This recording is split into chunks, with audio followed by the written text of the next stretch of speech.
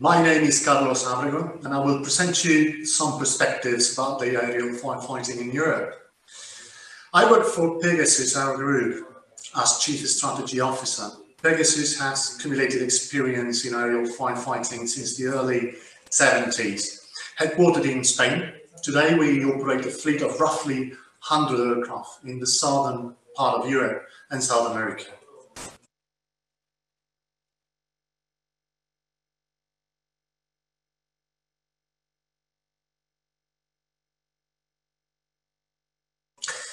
The European Union is a mostly continuous piece of land, more on the threat following Brexit, of about 10 million square meters. That include a forestal surface of about 180 200 million of hectares. Sweden, Finland, Spain, France, Germany, Poland probably concentrate two-thirds of these hectares, due mainly to climate change and the increased uh, interest of modern societies for rural environments, which implies at the end of the day more presence of people in the forest. Forest fires are an issue that is no longer exclusive of southern European countries.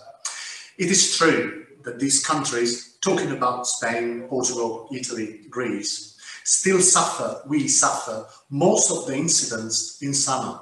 But the problem looks like definitely spreads to the center of Europe and the north of Europe.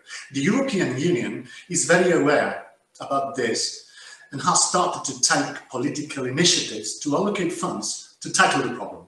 However, what is the situation today? How does the picture look like today? First thing to remind is that the European Union is not the European, let's say, the United States of Europe.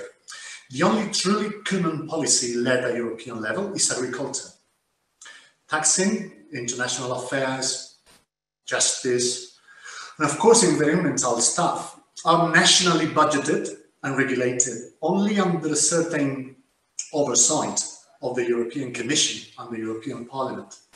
Therefore, policies, funding for forestal firefighting uh, are fully uh, national, 99% national, not pan-European. And the so-called European market is just an aggregate of national markets, let me say this way. So how does the aggregate of these markets look like today? Only Southern European countries have allocated so far uh, budgets for tendering aircraft on a standby basis. This is making sure that the helicopter uh, is there, ready to provide services by paying a fixed fee, a fixed amount of money during some months in summer. In rough figures, there are about 150 helicopters standing by for firefighting in Spain, 50 in Portugal, 80 in Italy. The rest of the continent seems just to be awakening at the sight of the climate change evidences and the increasing number of fire events showing up every day in summer across the TV news in Europe.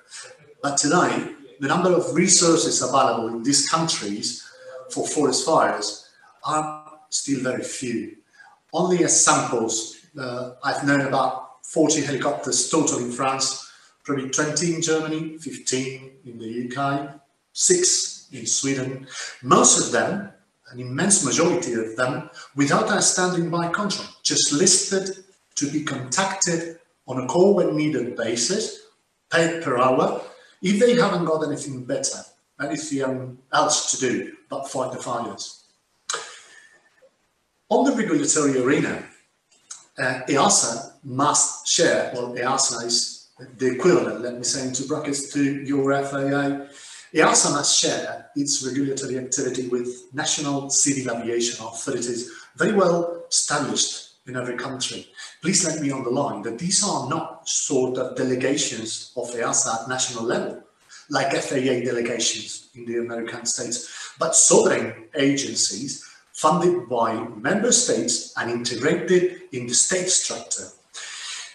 General rulemaking process in Europe is quite complex, also in aviation. Let us just say that in practice, the EASA establishes thresholds, a common ground and minimum requirements, but from that point, every member is somehow able to restrict operations. HEMS, for instance, is regulated at the EASA level, but incorporates domestic peculiarities uh, under the supervision of the level playing field of EASA that is concentrated in harmonization, uh, the different rules among the countries. However, member states have kept in exclusivity the authority to regulate and supervise certain activities. And I'm afraid, yes, we got to the point. Aerial firefighting is one of them. Therefore, with regards to the activity we are discussing in this conference, basically, Europe doesn't exist as a single body, I'm afraid. Europe is an aggregate of countries that face the problem isolated. National aviation authorities that grant national authorizations mandatorily required in national tenders but useless anywhere else. Is there any common ground to obtain different national licenses reasonably? No. The standards vary very much from country to country. There is no validation process in place. As a matter of fact, as far as I know, except for one non-Spanish uh, company that got a Spanish AOC, national AOC, no one in Europe holds a national license out of its own country. It is funny because of one of the foundational principles of the European Union was the free circulations, free circulation of goods and services.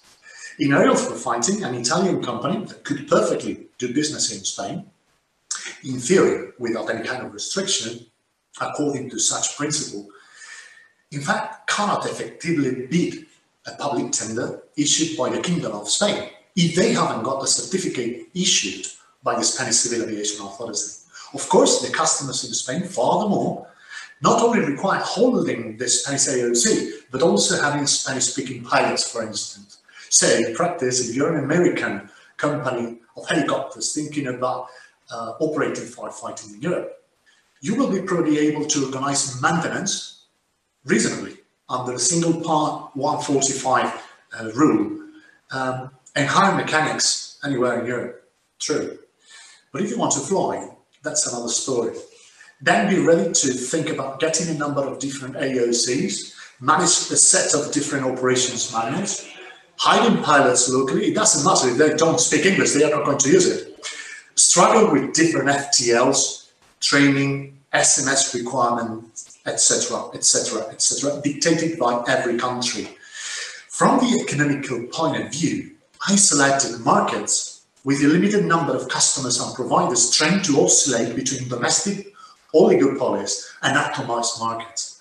A limited amount of customers squeezing budgets offered to operators competing basically in price until some of them are not just viable, fall down, get merged or acquired.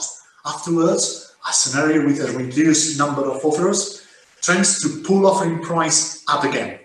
In the meantime, the problem is that there is no room for investment, innovation, efficiencies related to critical mass. At the end of the day, room for value creation.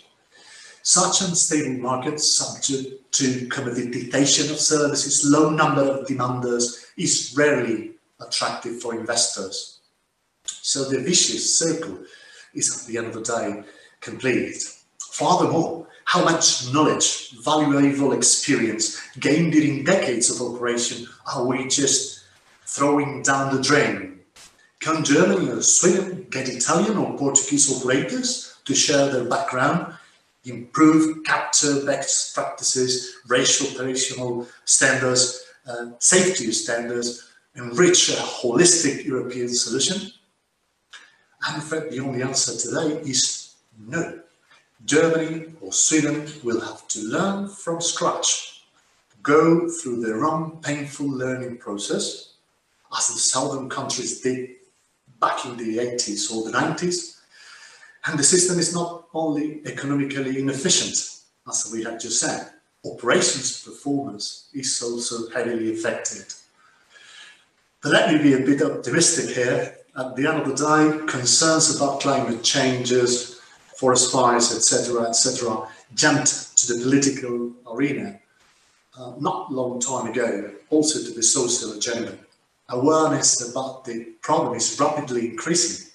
The European Helicopter Association, to which I uh, represent here, is very actively working at all instances to change the cause and make Europe aware that one of the key principles of the Union, again, the free circulation of goods and services, is not applicable in practice to our industry. We aerial firefighters know how to do the job and will remain keen, ready to contribute to the solution of this increasing global problem that doesn't know about national borders. Thanks again. Thanks indeed to HAI for paying so much attention every year to this industry and for sharing this occasion, the stage with us in Europe.